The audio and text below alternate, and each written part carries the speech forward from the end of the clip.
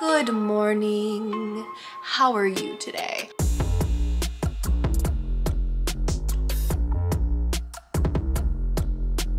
I just got done filming a video, remembered. We always assume like when we look at other people and like they're doing things that everybody else is just so like confident about everything that they're doing. But it's like, it's really not like that. I actually think that I'm going to make myself some lunch because I'm starving. Mark and I went and got some groceries yesterday. Walmart was a disaster. Why are there so many people at the store now? We all got stuff to do. But it's like, you guys just go sit in your car until I'm done. Then I'll go sit in my car until you're done and we could just like take turns. When I'm in Walmart, I go to turn down an aisle, but there's literally like a dozen carts down one aisle of people that are all as overwhelmed as me looking at each other like, how do I get past you? Oh! There's certain items where I'm like, I need that. But then there's other things where I'm like, I wanna look, I wanna explore, I wanna see what's new. And I can't when everybody's looking at me like, Move so I can get my Taco Bell refried beans, please. So Walmart was crazy, but we got some groceries and I'm excited because I love when we have new things. I gotta figure out what I'm gonna eat and I don't know. I told you guys I was gonna organize my pantry with you and I'm still going to do that, but I did a little bit of tearing through it yesterday because I was like, I need to see what's in here because I keep losing food in this freaking god awful pantry because it's so narrow. And I found some things in there that I forgot about. We got some new groceries and we also got some things that I forgot existed. I'm gonna go and see what I can find for food and then we're gonna eat and talk about some stuff. So give me just a minute, I'll be right back. I'm in my kitchen. I've changed my hair. I have a little ponytail and it's like parted down the middle. I don't know how to do my hair. My hair just kind of exists and I just kind of exist with it. now I found something in my pantry that I forgot that I had. I bought like, well, Mark bought because I wasn't going anywhere in the first trimester because I was sick as hell. Tired, nauseous, all the above. So he went to the store. The only thing I could eat at the beginning was plain stuff. If it had any sort of flavor or smell, it made me nauseous. He got me like these plain rice cakes. Pantry is so small. So what I did was I took these little sandwich bags and I put two in a bag. These are just plain, lightly salted. I'll put the brand here because I can't remember what the brand is, but we'll put her here, okay? Um, it's this. I remember seeing online that people were putting toppings on these. All sorts of things. I also have like caramel ones, but I don't think I want these. I feel like, okay, here's what, here's what I'm thinking. I have only ever eaten rice cake just plain. And now I'm like super inspired. Like there were some that had like peanut butter on it and honey. Dude, they do all sorts of things with this. You could put like whipped cream on it and like strawberries. You could put peanut butter on it and chocolate chips. You could put cottage cheese on it and everything bagel seasoning, which I'm thinking about doing on one, which may sound gross to some of you guys, but that's kind of what I'm thinking at the moment. I also saw one, it had like spinach and like tuna fish. And I was like, I have tuna. So here's what I think I'm gonna do. By the way, just FYI, my doctor told me I can have have some tuna. I haven't had tuna in months. Totally fine. I can have a little bit of tuna approved by my doctor. I think I'm gonna take these two rice cakes and I think I'm gonna do a cottage cheese everything bagel and then a tuna one and see what they taste like. Oh my God, guys, I'm getting crazy. Cue the me creating this shit, okay? Now, let's quiet things down for a little bit of ASMR.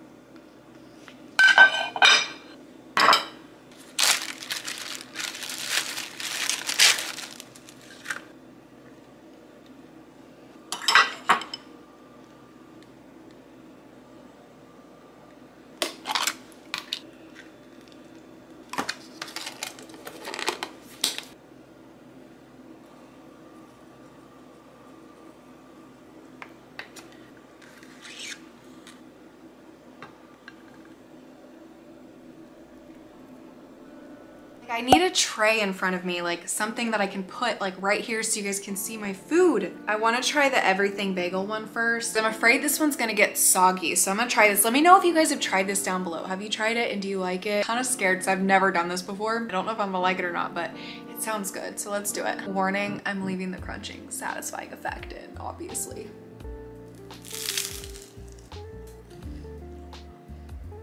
Mmm. Plain?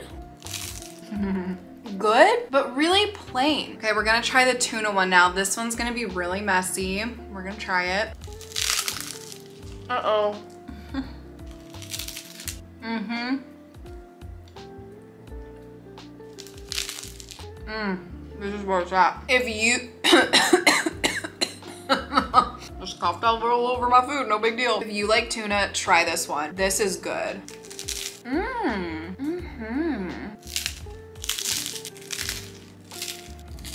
The tuna one was so good, but now I have spinach in my teeth. the tuna one was good, and that's also a good way to get in spinach and stuff like that because I've really disliked vegetables during this pregnancy. That's a good way to get some vegetables in. If you don't like tuna, I feel like you could put like rotisserie chicken on that. The cottage cheese one, I wouldn't recommend that. Like it wasn't bad, but it wasn't good.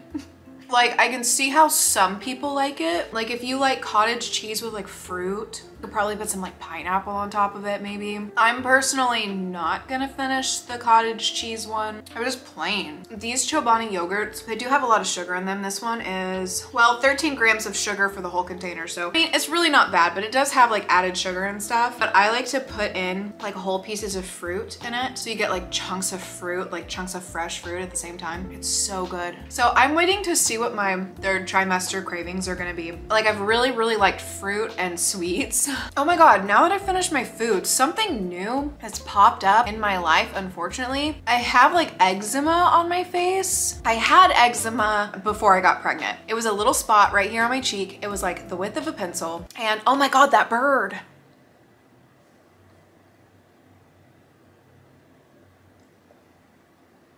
That bird looked like it was literally like dropping from the sky like a hot potato. And it would kind of come and go. Like sometimes it would be more like dry and red than other times. I noticed that it was like spreading and I had like a ton of dots. And then all of a sudden it was on this side of my cheek too. And they were super red and super dry and super flaky. And then I found a spot on my leg, on my thigh. It's exactly like it. And it's like, I think it's eczema. Even putting moisturizer on it doesn't help. I'm really hoping that it goes away after the baby's here. But my skin has been clearer than it's ever been. I don't know if it's because of pregnancy or if it's because of the prenatals or if it's because of both. I started taking prenatals when we knew we were gonna try. We weren't trying yet, but we knew we were going to. So I just started taking them just to, you know, get my body ready. I really can tell the difference in how I feel with vitamins versus without. So if you don't take vitamins, this is your sign. Start taking them. But I think the biotin in them is helping my skin, hair, and nails. I also feel like part of it is being pregnant because I have heard some people's skin gets clear when they get pregnant. Some people get acne when they get pregnant. Mine thankfully got clear because I'm one of those unlucky 31 year old adults that has adult acne. So pregnancy cleared that up for me, but now I got these red blotches on my skin and I'm like, why can't life be perfect? So I entered the third trimester. I've been in the third trimester for three days. I noticed stretch marks on my stomach, which is fine. Listen, we need to normalize stretch marks. We need to stop being scared to say we have stretch marks or act like it's a bad thing. Like, I'm sorry. Social media is making people think that they have to be perfect and you don't. I got stretch marks when I went through puberty in all the, you know, lovely places, thighs, hips, breasts. And so I knew that when I got pregnant, I was probably gonna get them. In my second trimester, I started noticing that on my hips that stretch marks were like branching off of the ones I already had and didn't really bother me honestly. And then it happened on my thighs too. And I was like, you know, this is fine because I already have them here. I've had them here for literally like 19, 20 years of my life now. I got them really young. I was like 11 or 12 years old. And um, just when I went through puberty and my body started changing, I just got them really easily. My skin doesn't stretch like some women's do. And it's not a bad thing or a good thing or, oh, sucks to be me, lucky for somebody who doesn't. It's just skin. It's just stretch marks. I don't understand the big deal. But I found some new ones. I have like four little dots underneath my stomach where I can see that they're forming. And honestly, I think prepping myself from before I even got pregnant with the fact that I was probably gonna get them and I knew my stomach was never gonna be the same, my body is never gonna be the same. How do you expect a woman's body to ever be the same after she gave birth? That's one thing that really bothers me is people talk about bouncing back. Why do you have to bounce back? It's amazing and beautiful and wonderful. You carried a human being and gave birth to a human, to a life. That is so much more incredible than what your body looks like or what it looked like before or what it looks like after. I don't like the way that we're conditioned to view these things. It's, to me, that's what's not normal, is that certain things are viewed as bad. Really talking to myself before I got pregnant about how things are gonna change and I need to be okay with that. I'm not gonna look exactly the way that I do now after I give birth. Talking to myself about that and understanding that before I got pregnant is really helping me just not care at all that I'm getting stretch marks. I knew it was probably gonna happen. I did everything people said to do, the cocoa butter, the argan oil. I maybe missed a few days throughout the entire pregnancy. My belly is always shining bright like a diamond. I was oiling that thing up like crazy. It didn't work for me. It doesn't work for everybody. Some people just get stretch marks and that's okay okay. That's okay. And I'm not even trying to give myself a pep talk here. I don't really need one anymore. I gave myself a pep talk about it a long time ago and helped normalize that within myself. I struggled with insecurities and feeling bad about myself for a huge portion of my life. And when I look back on it, I think about all the times that like I avoided going to the swimming pool with my friends or wearing an outfit that I really liked because of something stupid and artificial that literally nobody cared about but myself. I look back on that and I just think about missed opportunities and things that I could have done that I didn't do because of what I looked like. One thing I'll tell you is whether you have a baby or whether you don't have a baby, whether you want one, whether you don't, your body changes anyways. Before I got pregnant, my 31 year old body, completely different than my 18 year old body. I knew a lot of people that got pregnant really young and they struggled with insecurities with certain parts of their body, which was completely valid. Not invalidating that. Whatever insecurity you struggle with, you are valid in expressing how you feel about it. But whenever I was younger, I knew people that got pregnant when they were younger and and they experience changes with their bodies and their breasts and their stomachs and things like that were really difficult for them because it happens really quickly. Like nine months goes by really fast. There was a lot of fears associated with that being younger, like being worried about like my body changing. But one thing I've learned as being someone who decided to have my first baby older as opposed to having my first baby younger, like a lot of people that I knew, is that whether you have a baby or don't have a baby, your body changes anyway. I think we tend to forget that one day we're gonna be like those cute little 80, 90 year old people that are like, you know, walking a little slower, the cute little wrinkles on their face and just, you know, one day that's gonna be us. And it doesn't matter like what you looked like at this age versus what you look like at that age. What matters is the life experiences that you had, how happy you were through your life. There is truly nothing more detrimental to our own life experiences and having fun and enjoying being alive than wasting our time worrying about the fact that I have purple lines forming on my stomach that nobody really sees anyway unless I want to show them and if I choose to show them and they don't like it, who cares? For instance, I get comments on my septum ring all the time. People always make a comment about take that thing out of your nose. That doesn't bother me, so why should it bother me if somebody doesn't like that I have stretch marks? Not their stomach.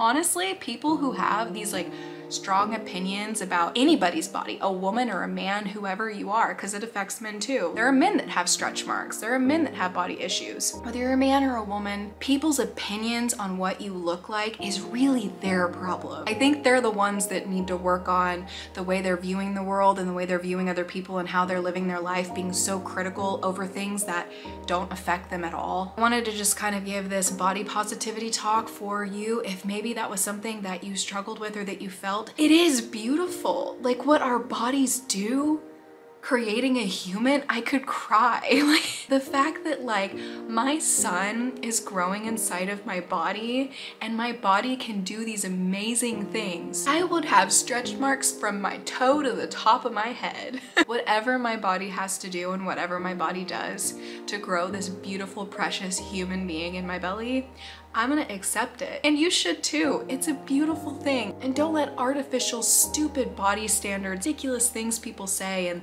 the overly photoshopped pictures and videos on social media, don't let that stuff rob you from your experience of growing a human. I just hope this makes some people feel better because I know that some people probably are gonna struggle with that. And I'm just gonna be on here and be like, I'm getting stretch marks.